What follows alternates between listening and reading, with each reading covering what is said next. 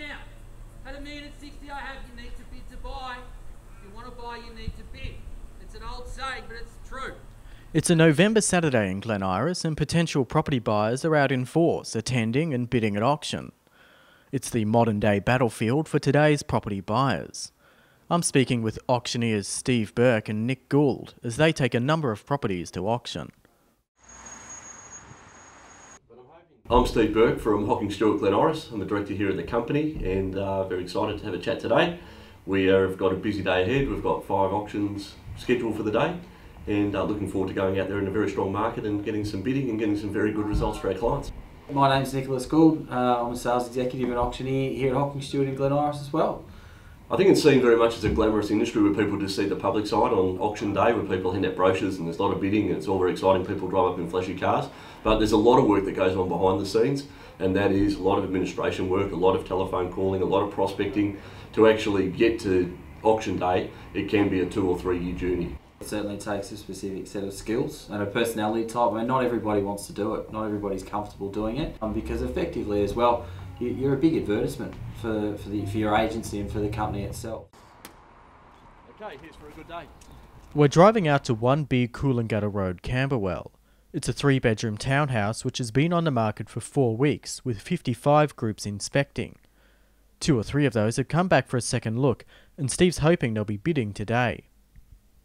Real estate's all about comparing apples with apples, and recently next door sold for 871 with another agent. So we're hoping that's our yardstick, and we're certainly hoping to achieve a better price than that there today. There's a lot of people here today, but not many serious bidders. Steve has to try his best to coax bids out of a reluctant crowd. The vendor's reserve is 908,000, slightly unrealistic given next door sold for just 971,000. Well, I'll place an opening bid of $800,000, drawing a line in the sand, vendor bid, letting you know we're looking for a $10,000 rise from there. At $800,000, invite you in for a $10,000 rise. Don't miss the opportunity. Get yourselves at $830,000, looking for 840 now. Invite you in. Anybody else at all? Sir, you're bidding, just stretching. At $830,000, call it three times. Once, twice, third, 40 now. At 840 I have. For a $10,000 bid now, call it three times. Once, twice, third and final call at 840,000. Bidding madam, at 840. Well, just excuse me folks, we're just reviewing the bid.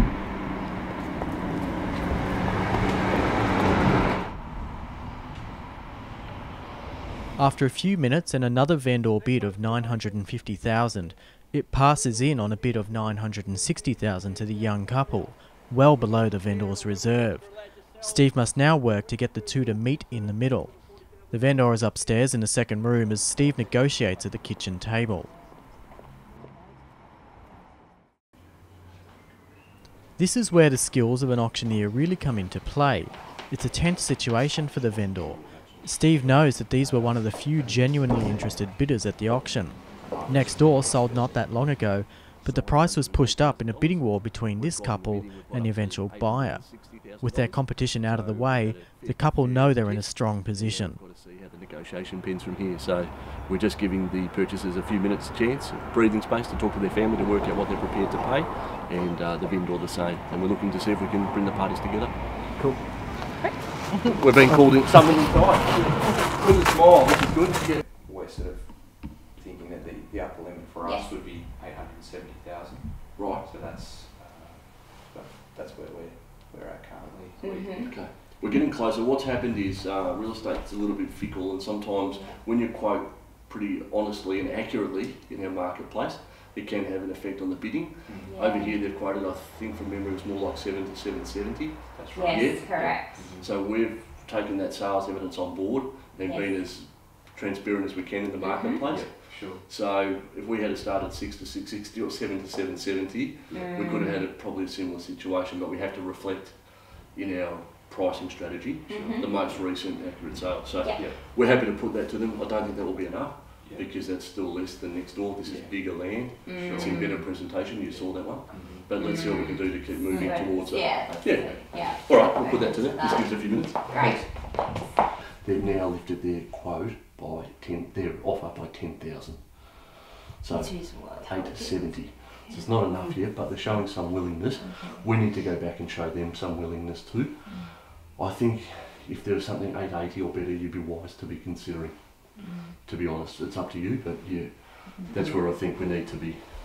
I, would, I, I don't think I can go at 880. No, under 900. No. Okay. Mm. Not even 890. No, no. So nine, We need to go back to I them can go saying to show probably- some willingness. How about if we go back and show eight, 890 and see what the deal is? Or, or go back at 900. Just go 900. Yeah, from 908 Yeah. to 900, let's see what we can. Yeah. There's going to have to be a. Yeah, them.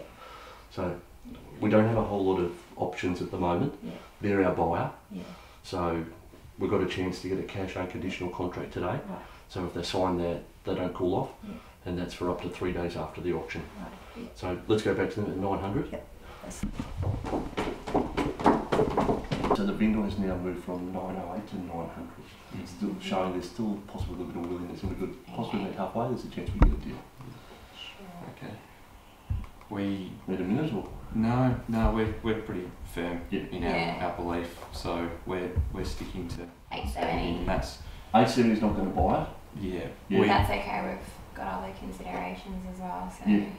other we we sort of feel that we've lifted the price from our offer was 840 and then there was Yeah. a vendor at 850 and we're 860 and we've just brought it up to And now we've 870 got- yeah. so Yeah. we sort of haven't seen the competition which hasn't been around want from you is It's- your it's- walkaway price. You know, don't, Mm. don't miss it for 10 grand. You're going to take a Yeah. loan from the bank for 25 years. And if you like that one, well, this is better. yeah Mm. Give us your best offer. Have a few minutes if you want. But We- give us your best offer walkaway yeah, price because they're not selling at 870. And, and there's no reason they should. But if you if Yeah. we're not far off either, okay Mm. well we you're at 870. They're at 900. Yeah, mm, we're 30,000 apart. Sure. Yeah. Well, we we're sort of stretching, and, and this was based on our sort of expectations. We could final offer would be eight hundred and seventy-five. Okay, so it's a very emotional decision for our vendors. Uh, we've now got an offer of $875,000 and our vendor has, has come down to $880,000 in price. So we're $5,000 away. This is the job of the agent to bring the parties together and uh, let's hopefully we can get a sold sticker up very shortly. The talks go back and forth for some time, but it seems Steve has pushed the couple as far as he can, and they're already standing up to leave the negotiation table. This is Steve's last chance to secure a sale today. He speaks to the vendor one last time with a final offer of 877,500.